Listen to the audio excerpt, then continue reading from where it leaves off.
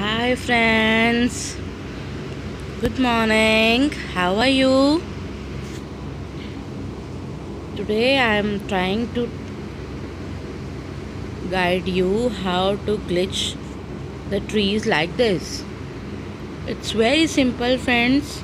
I will show you step by step. Just go for it.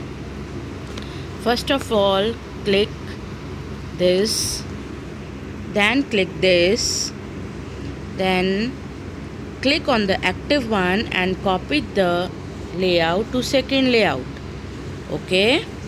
Then go to second layout and edit. Then click the last glitch tree and store.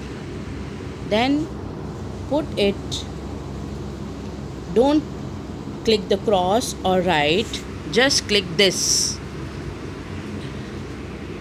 Now when you see you can see the third tree is missing.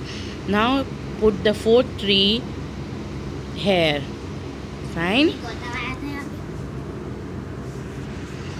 Now you can now again like this you go to second here.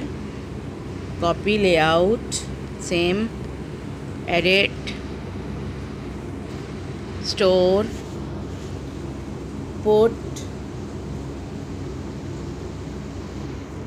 cross four trees missing.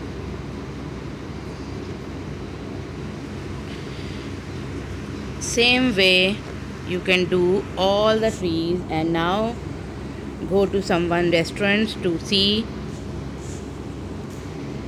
it's very easy. Just simple three steps and you can do. Make sure you can do and tell me if this video helps you